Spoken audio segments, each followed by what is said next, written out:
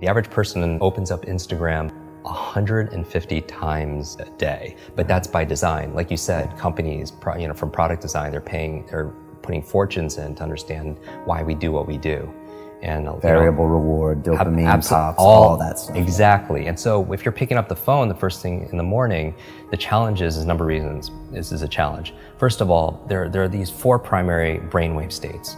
Um, beta is what you and I are in right now. We're awake. Delta is when you're fast asleep. In between those two states, theta and alpha, are extremely important brainwave states for learning. So theta is the state right in and out of sleep. Theta is the state um, that we call creativity. When you are your most creative, you're, you're, usually it's coming because you're in this theta state. And you know this, when you're in and out of sleep or you're close to like, you're so deep, your, your mind goes and you come up with ideas. You know what puts you in a theta state? Are uh, showers. Oh, really? You ever notice like when you're in the shower, you come up with some of your, your best ideas? Yeah, and your brain kind of drifts. It does, because you're in that brainwave state. So a big part of my work is taking the invisible and making it visible. Like I always, when I do these demonstrations, I always tell people that I, I do it because I want you to see that there's a method behind the magic. That when somebody does something that's extraordinary in athletics, in education, in technology, with the human body, there's always a trail, you know, because genius leaves clues. Above theta, though, uh, is the state called alpha, right? Right below beta, where you're, you're, you're most aware and awake. Um, alpha is a state of learning accelerated learning. It's a state of relaxed awareness. Um, this is a state we go into when we meditate because your critical mind is set aside and you just absorb information unconsciously. You know what puts you into an alpha state? Television. Mm-hmm. You ever notice that if somebody's watching the game or somebody's watching their favorite TV show and you're trying to have a conversation with them and they literally are in trance, they don't hear you because of the television programming? Which might be an interesting word, you know, programming and putting people into yeah. a trance.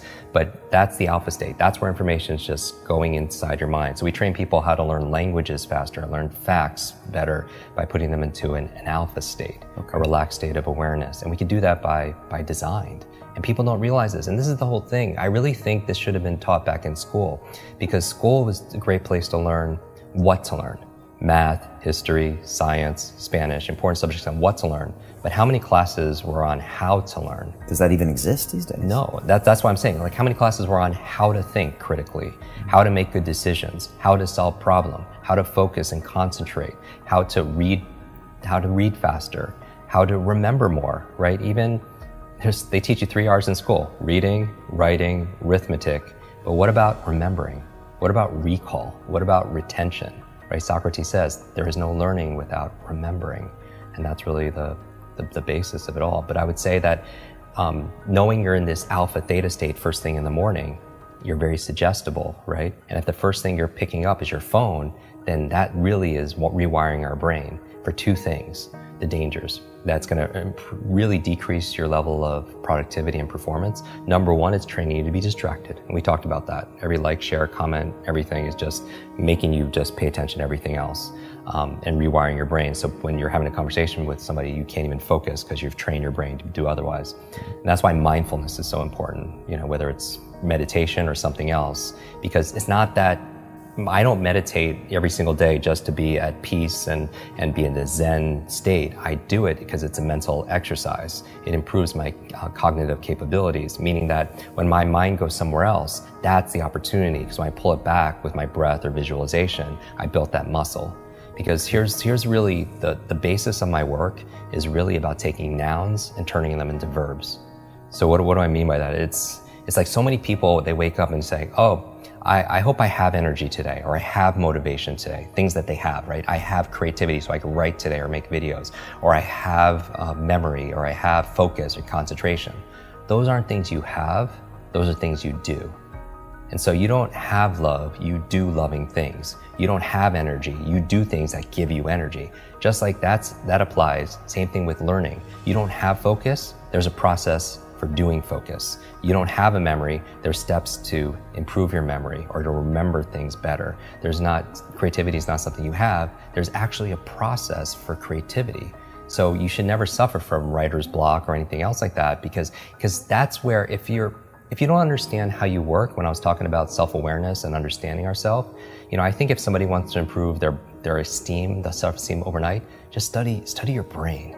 Like you'll, you'll get a boost of confidence and pride like instantly because it is the most incredible I don't even know what to call it, a device, a supercomputer, what, in the whole universe. You know, it's not just about going out to, to Mars and all these other places. I want to I want to go in here because this controls what?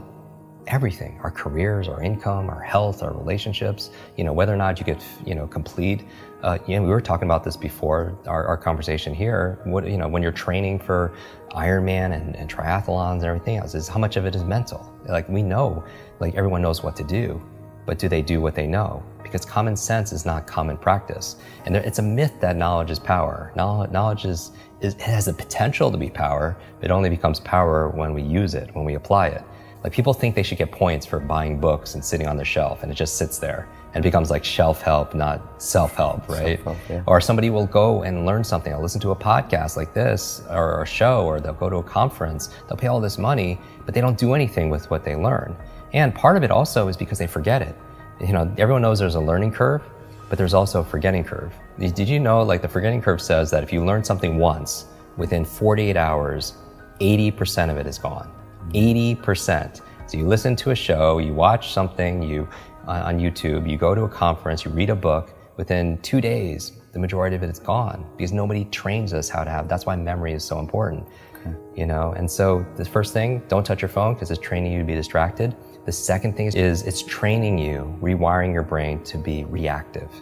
Reactive, meaning that you're in this relaxed state of awareness when you first wake up. You pick up your phone, you get one text that with bad news, or one voicemail, or one email, and you know this. We've this has all happened to us. You're in a bad mood for the rest of your day because you're so impressionable. You're in that hypnotic state, and it affects you. And you can never have a quality life you know, with that, you know, and be the best version of ourselves, be an elite mental performer, high performer when you're responding and reacting to everybody else. You know, my friend Brendon Burchard says, an inbox is nothing but a convenient organizational system for other people's agenda for your life. And how can you have vision for your life? Like for me, the night before, like I have, um, I did a whole episode on my morning routine, like 10 things I do every morning to jumpstart my brain. Mm-hmm. And I also have a, an evening one hour routine to get into sleep, to maximize my sleep. Sleep is so very important to be able to do. Um, but one of the processes I do, besides, you know, blackout curtains and cold and uh, temperatures and breath and stuff, mm-hmm. meditation, is um, I don't touch a screen right? Because it creates blue light, and, you, and, most people should know this. Every, you know, the screen on your laptop, your phone, everything else emits this blue light, which inhibits the melatonin production, which helps you to relax and go to sleep. So no screens. Um, but the other thing I do is I write down the three things I want to accomplish the next day personally, and the other three are professionally. So now when I wake up, I have a vision for my life like I'll, this is a win today if I just get these three things done personally and three things professionally. And when it comes to my phone, I don't touch my phone until I get at least one thing done. And hmm. that's my, that's my test. You know, if I could just do that. And it's not always perfect, you know, but it's about progress, right? Because practice makes progress, right. right? And there's never going to be a perfect. And I think people need to find what works for them. But I would say again, to step out is not, don't trust yourself as the expert instead of somebody else and test it. You know, maybe for one week, keep your phone outside your bedroom for just one week and don't touch it for the first hour a day and spend the first hour a day being a thermostat, not a thermometer. Because a thermometer, what, what's a function? It reacts to the environment. And that's a, that's a kind of crappy way to like live. Not that we don't, we do react to the environment. We react to the weather, right? We react to how clients treat us. We react, but to the degree we're happy is that we have the locus, uh, the, the, the location of control inside right? All the studies show that the happiest people are the ones that feel like they have the control over their, over their happiness and not put it to somebody else, a person or a place or, or something going on in the economy or politics or anything, right? Mm. So a thermometer reacts to the environment, but a thermostat's different. What does that function? It sets the environment. It sets a goal, it sets a temperature, and then the environment raises to it.